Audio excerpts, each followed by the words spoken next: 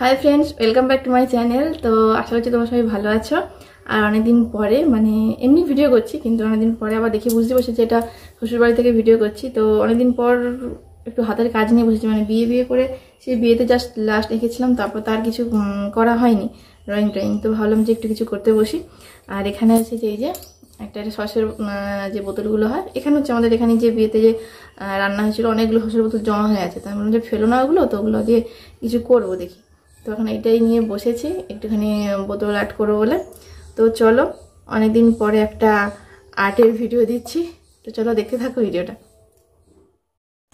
তো এখানে আমি বোতল আর্ট করার জন্য একটা হসের বোতল নিয়েছি, আর দেখো কটা টিস্যু পেপার নিয়েছি।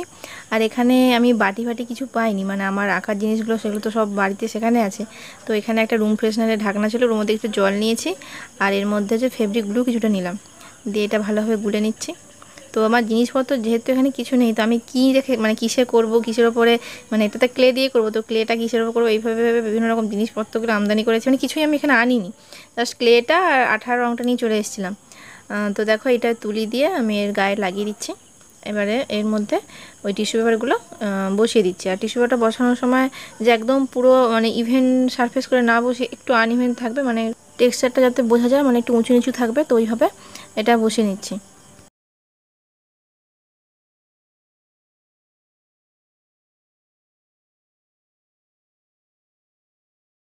তো দেখো আমার পুরোটা পুরো বোতলটা আমি টিস্যু পেপারটা লাগিয়ে নিয়েছি। এবার এটা হচ্ছে শুকাতে দেবো। এটা শুকিয়ে গেলে তারপরে এবার আমি রং করব। তো দেখো এটা পুরোটা শুকিয়ে গেছে, এবার আমি এর উপর কালার করব। এর জন্য আমি অ্যাক্রিলিক কালার ইউজ করছি। এটা হচ্ছে যে ব্ল্যাক কালার ইউজ করছি। যেহেতু আমার কাছে ব্ল্যাক কালারটা খুব কম ছিল মানে আমার কাছে যা ছিল আমি তাই নিয়ে চলে এসেছি। তো আমি একটুখানি ব্ল্যাকের সঙ্গে ব্রাউনটা মিশিয়ে করছি। তো এটা ব্ল্যাক করলেও হবে। তো দেখো ব্ল্যাকই লাগছে যদিও ক্যামেরাতে তো এইটা পুরোটা আমি কালার করে নিচ্ছি। তো দেখো কালার করা হয়ে গেছে, ওটা আমি শুকাতে দিয়েছি, ওটা শুকিয়ে যাওয়ার পরে দেখো এখানে আমি এমনি ফেব্রিক কালারের মোল্ডিড নিয়েছি, ওটা যেভাবে মানে সেম দুটো থাকে ভেতরে, একটা হচ্ছে যে হার্ডনার থাকে আর একটা রেজিন থাকে রেজিন বেস তো দুটোকে সেম অ্যামাউন্টে নিয়ে ভালোভাবে মেখে নিচ্ছি। আর একটু পাউডার ইউজ করছি যাতে এটা লেগে না যায়। আর টাইলসটা কিসের ওপর আমি করব সেটা ভেবে একটা টাইলস পেলাম বাড়ির সামনে পড়েছিল। তো ওখান থেকে একটা টাইলস নিয়ে এসেছি। তো আমার সরঞ্জাম সব বারবার বলছি না যে আমার হলদিয়াতে আছে, তো আমি কিছু আনিনি। তো এখানে খুঁজে খুঁজে আমি বার করেছি যে কিসের ওপর করা যায়। আর দেখো একটা পেন নিয়ে নিয়েছি পেন নিয়ে বেলে দিচ্ছি। আর এমনিতেও কি বলতো মানে সব সময় যে সব কিছু পারফেক্ট হবে সব কিছু তোমার সামনে থাকবে সেটা সেটা হলে তো সব কিছু ভালো হয়, সেটা সবাই জানে। কিন্তু জিনিস যদি নাও থাকে, তবুও ম্যানেজ করে কীভাবে করা যায়, সেটাও কিন্তু একটা করাটা আমার বেশ করতে ভালো লাগে। তো দেখো, এখান থেকে আমার কাছে ছুঁচ টুঁচ কিছুই নেই। তো আমি এখানে একটা সেফটি পিন ছিল, বড় সেফটি পিন তো ওটাকেই ইউজ করছি। কাটার জন্য ছুরিও আমি আনিনি। তো এইভাবে দেখো করছি। তো খুব যে হচ্ছে না, তাও না। একটু টাইম লাগছে যদিও, তো অসুবিধা নেই। মানে সবসময় যে ক্লে করার জন্য ক্লে যে টুলস লাগবে সেরকম না। আর আমি এর আগে যতগুলো ক্লের কাজ করেছি ক্লের যে জুয়েলারি তৈরি করেছি তাতেও আমি কোনো টুলস ইউজ করি মানে টুলস কিনিনি আমি। ওই যে ছুঁচ দিয়ে, ছুরি দিয়ে করি, ওগুলো দিয়েই করি। তো দেখো, এখানে আমি এটা ফুল করব সানফ্লাওয়ার তো তার পাবড়িগুলো তৈরি করে নিয়েছি। এবারে এই যে ফেব্রিক গ্লু দিয়ে এটা বোতলের মধ্যে বসিয়ে নিচ্ছি।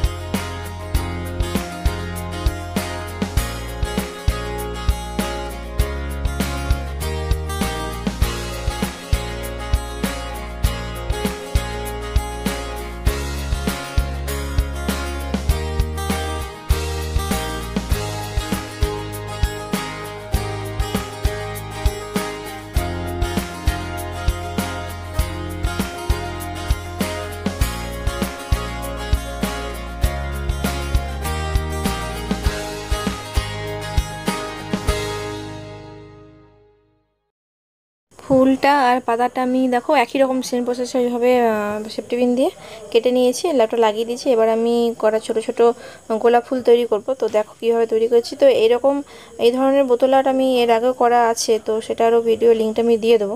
সেখানেও এই একই- রকমই করেছিলাম। প্রায় কিছুটা একই রকমই ডিজাইনটা, তো ওইটাই করেছিলাম।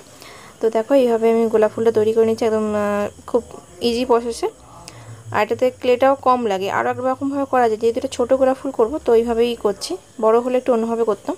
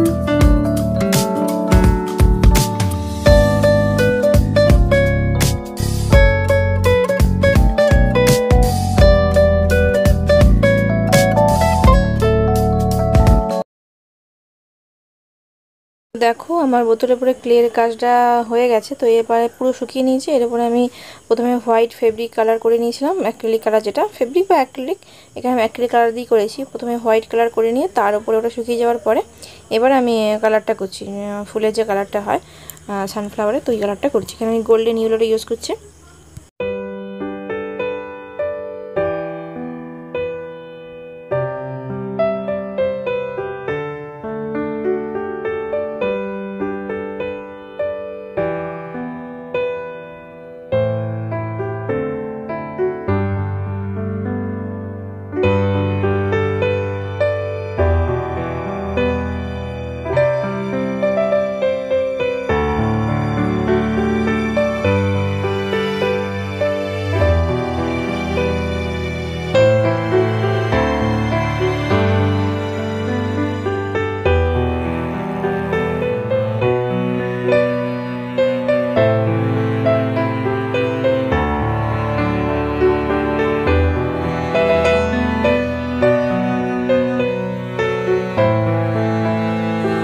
দেখো, আমার কালার করা অলমোস্ট ডান এবার আমি একটা ওপরে একটুখানি, এখানে দেখো, এটা মেটালিক গোল্ডেন কালার ওটা হচ্ছে যে ফেভি কালারের একলি কালারে ওটা হচ্ছে মেটালিক কালার গোল্ডেন তো ওটা দেখো আমি হালকা করে ব্রাশে নিয়ে এটা উপর দিক দিয়ে জাস্ট একটুখানি হালকা করে টাচ দিয়ে দিচ্ছি, যাতে দেখতে একটু সুন্দর লাগে।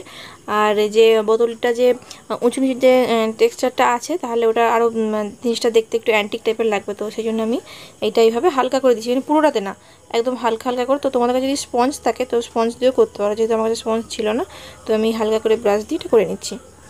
তো দেখো, এইটা হচ্ছে যে আমার বোতলটা। এখন শোকায়নি, এর উপর আমি ভার্নিশ ইউজ করব। এটা শুকিয়ে যাওয়ার পরে আমি যে ভার্নিশটা ইউজ করি তো এখানে আমি দেখো, আমার যতগুলো আমি ক্লিয়ার কাজ করেছি, যা করেছি, তো আমি এই ভার্নিশটা ইউজ করি। এটা খুব ভালো, এটা হচ্ছে ডেকোরের ভার্নিশ গ্লস ফিনিশটা তো এটা আমি শুকিয়ে গেলে এর উপর ইউজ করে তারপর তোমাদেরকে দেখাচ্ছি। তো যে বোতল আর্টটা শুরু করেছিলাম, তো ওটা আমার পুরোপুরি কমপ্লিট হয়েছে। আর এই দেখো এটা হচ্ছে আমার ফাইনাল লুক একদম সিম্পলে পরে করেছি মানে আরও অনেক কিছু করা যেত। তো যেহেতু আমার কাছে এখানে মানে ক্লে আমি বেশি আনিনি, আর এখানে ক্লেটা কাছাকাছি দোকানে পাওয়া যায় দূরে যেতে হয়, তো ওই জন্য আমি বেশি ক্লে খরচা করিনি। এরপরে আর একটা বোতল করব, তো সেটাতে একটু বেশি ক্লে লাগবে, তো ওই জন্য এটা অল্প করে করেছি যে এটা ফাইনাল লুক আমার ফার্নিশটা দেওয়া হয়ে গেছে। তো কেমন লাগছে কমেন্টস করে জানিও। এর আগেও একটা এরকম বোতল বানানো আছে, ওটা আমার সেখানে আছে হলদিয়া তো সেরকমই করেছি। একই রকমই প্রায় বলতে গেলে, একটু আলাদা। ব্যাক সাইডটা এমনি নর্মাল কিছু নেই তো দেখো, এটা হচ্ছে আমার অনেক দিন পর একটা বোতল আর্ট করলাম।